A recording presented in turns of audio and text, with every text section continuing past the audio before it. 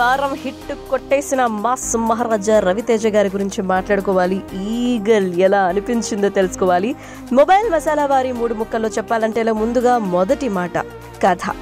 Journalist Nalini రాసినటువంటి ఓ కథనంతో start అవుతుంది. చిన్న కథనమే కానీ ఇంక వేరే రేంజ్ అనమాట కారణమే అదవుతుంది. ఈగల్ నెట్వర్క్ సంబంధించినటువంటి అంశం అనమాట మన దేశానికి చెందిన ఇన్వెస్టిగేషన్ బృందాలు నక్సలైట్లు తీవ్రవాదులతో పాటు ఇతర దేశాలకు చెందినటువంటి వ్యక్తులకి టార్గెట్గా ఈగల్.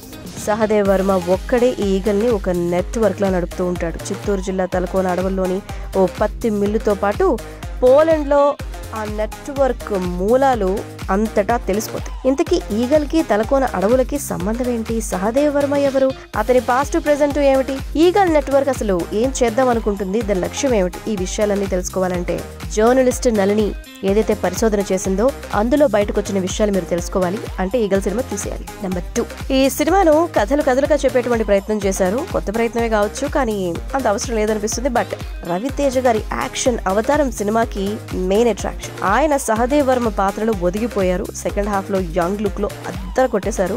సో రవితేజ గారి performance stylish making second half ఈగల్తో Raviteja గారు మెప్పించేశారు అంతే ఇంకా.